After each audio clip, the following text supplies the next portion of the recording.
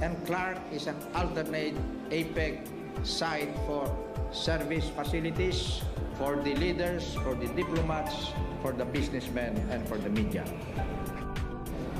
This means great things are in store for the people of this region because Clark, in our view, will significantly speed up the economic growth and development that will help the Philippines attain the status of newly industrializing country by the year 2000.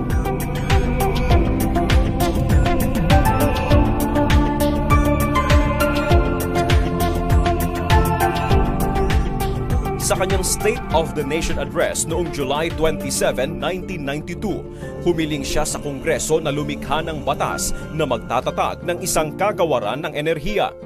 Subalit labis pa riyan ang kanyang nakuha. Pinagkalooban siya ng Kongreso ng dagdag na kapangyarihan upang mabigyang lunas ang energy crisis sa bansa.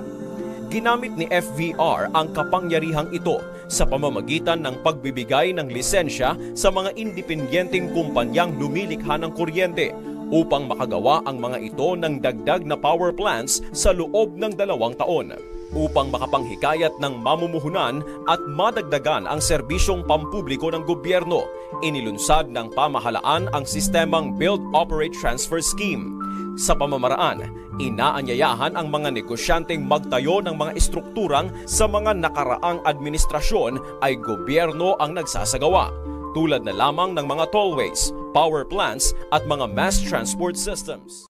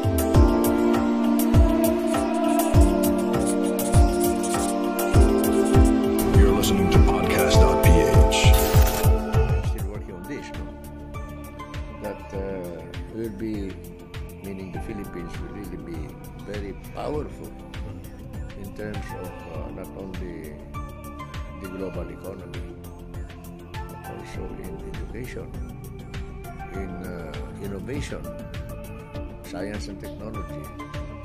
If our 100 million population is all quality population na walang nagpapalimos